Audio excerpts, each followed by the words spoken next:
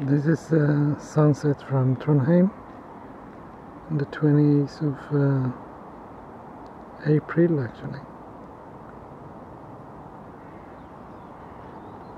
It has been a clear sky for several days and as people say there is a little bit of dust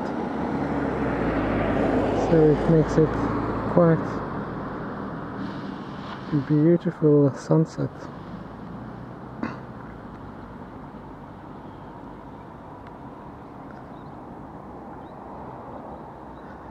Uh, this tower that you see is uh, called Tyholt Tower or Tyholt uh,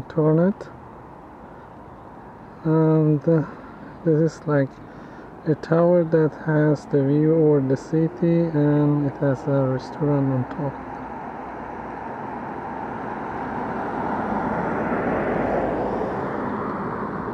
I'm quite far from this uh, tower now but I'm using uh, telelens.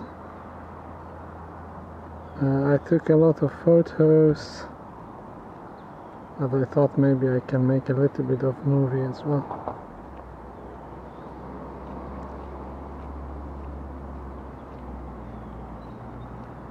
So